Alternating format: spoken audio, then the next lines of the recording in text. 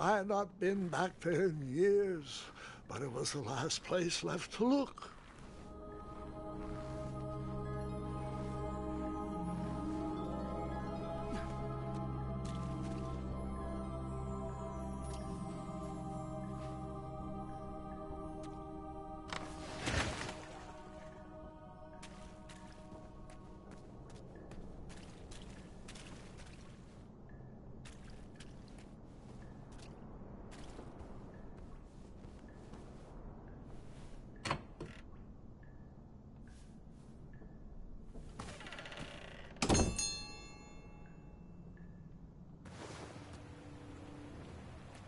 It was not exactly as I remembered it, but it wasn't all that different either.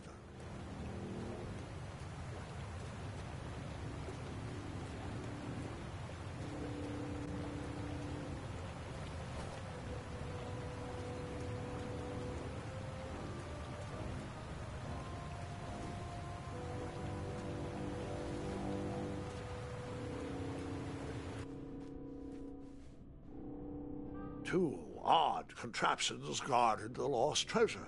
I would have to turn one and see what happened.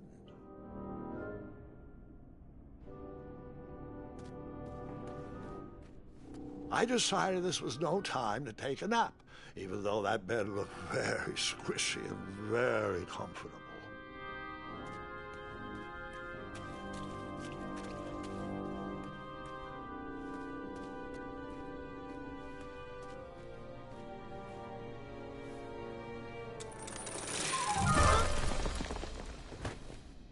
And that's what would have happened if I turned the left switch. But since I am here telling this story, you already know that I pulled the right one.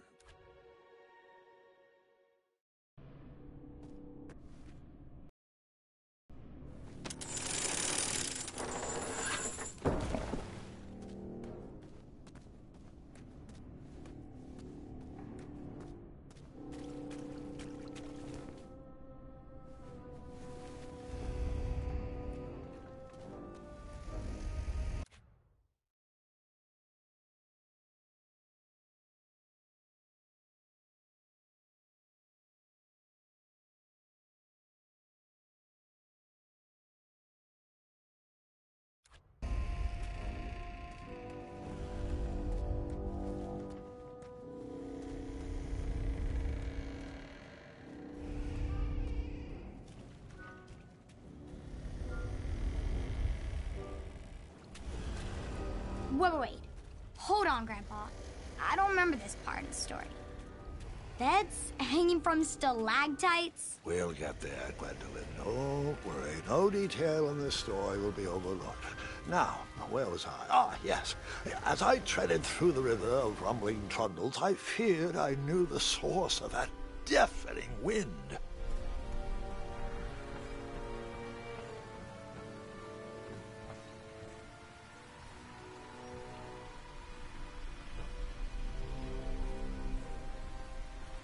Nestled beneath a slumbering pile of teeth and claws was. Fabled mirror. Oh, so you remember this part of the story. Well, dragons are my favorite. Do you want to tell this part? Yes. King Edward sent me, the greatest knight in all of Daventry, on a quest to return his stolen mirror. A gigantic, hulking beast of a dragon was the last thing in my way to. In my way to. my way, too. Add a shinier hat to my collection.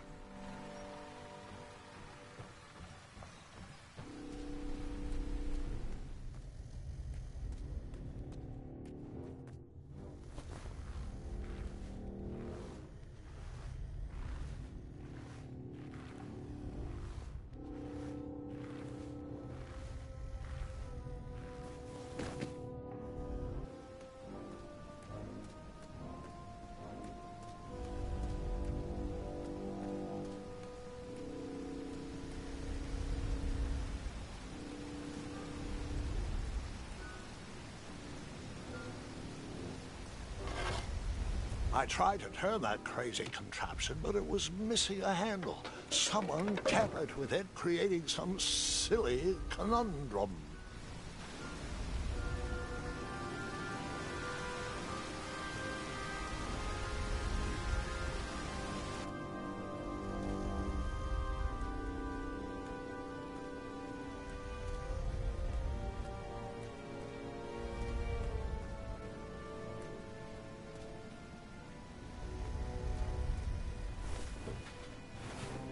The bed was very comfortable, this was no time to hide under the covers.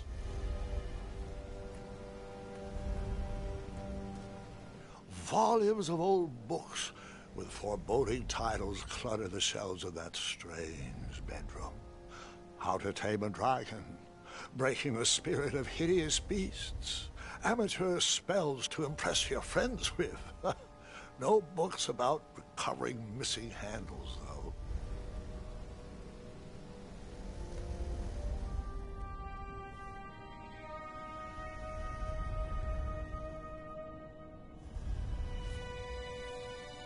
So, the missing handle was booby trapped? What did you do? Well, I used my cleverness to outsmart the trap.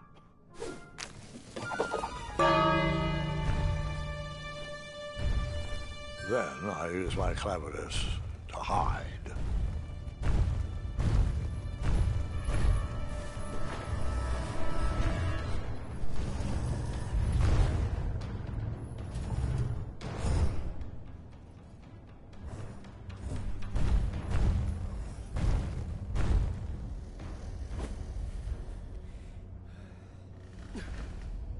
Luckily, that half-blinded beast never noticed me in bed. A dragon's eye must be really hard to pierce with an arrow. At archery lessons, I can barely hit a hay bale. It is indeed a, a feat only for skilled archers.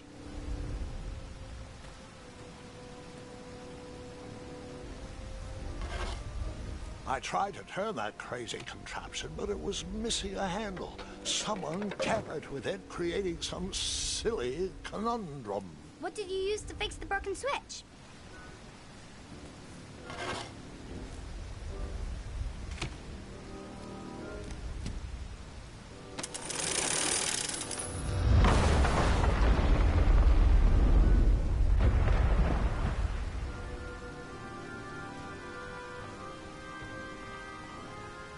The dragon's chains were coiled around a gigantic switch mounted to the cave wall. This cave seemed to be filled with failed adventures.